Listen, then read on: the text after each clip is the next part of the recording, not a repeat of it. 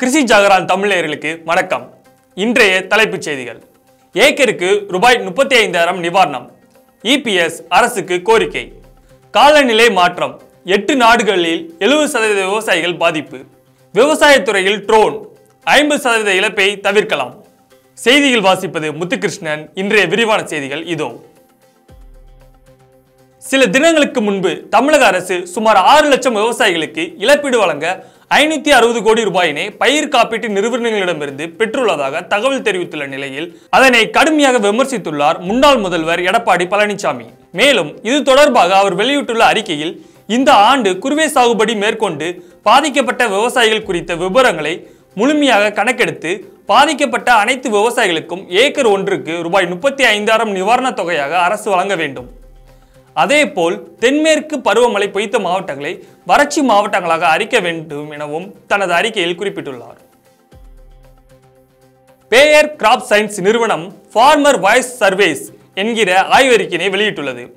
Australia Brazil China Germany India Kenya Ukraine மற்றும் America ஆகிய எட்டு நாடுகளைச் சேர்ந்த விவசாயிகளிடமிருந்து இந்த கருத்து கணிப்பு நடைபெற்றுள்ளது.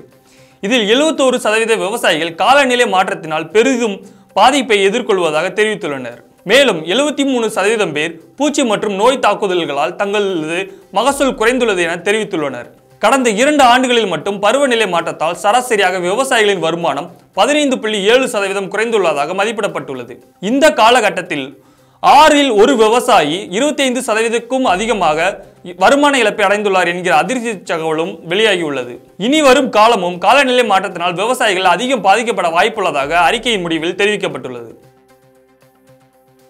ஸ்கை ஏர் என்கிற நிறுவனம் நடத்திய ஆய்வில் ட்ரோன் தொழில்நுட்பத்தை விவசாயத்துறையில் முழுமையாக ஈடுபடுத்தினால் அறுவடைக்கு பிந்தைய இழப்புகளை சுமார் ஐம்பது சதவீதம் வரை குறைக்க இயலும் என தெரிவித்துள்ளது.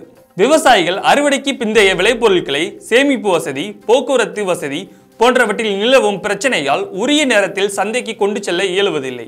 இதனால் விளைபொருள் கெட்டுப்போய் கழிவுகள் அதிகரிக்கும் போக்கு இந்தியாவில் உயர்ந்து வருகிறது. இவை அனைத்திற்கும் ட்ரோல் தொழில்நுட்ப முறை தீர்வு வழங்கும் என ஸ்கை ஏர் தனது ஆய்வு முடிவில் தெரிவித்துள்ளது. ட்ரோன் செயல்பாட்டினை அறிமுகப்படுத்துவது உற்பத்தி செலவு மற்றும் நேரத்தை மிச்சப்படுத்துவது மட்டுமில்லாமல் சுற்றுச்சூழலுக்கு உகந்த வகையில் இருக்கும் எனவும் தெரிவிக்கப்பட்டுள்ளது. கிருஷி ஜாகரான் வேளாண் சார்ந்த தொழிலில் ஈடுபட்டுள்ளவர்களை சிறப்பிக்கும் வகையில் எம்எஃப்ஓஐ விருது வழங்கும் நிகழ்வினை ஏற்பாடு செய்துள்ளது. தகுதியான நபர்கள் கீழ்காணும் டெஸ்கிரிப்ஷனில் உள்ள லிங்கினை பயன்படுத்தி விருதுக்கு விண்ணப்பிக்கலாம். மற்றவரையும் பரிந்துரை செய்யலாம். மேலும் வேளாண் தொடர்பான செய்திகளை உடனுக்குடன் தெரிந்து கொள்ள கிருஷி ஜாகரான் இணையதளத்தை பாருங்கள். நன்றி வணக்கம்.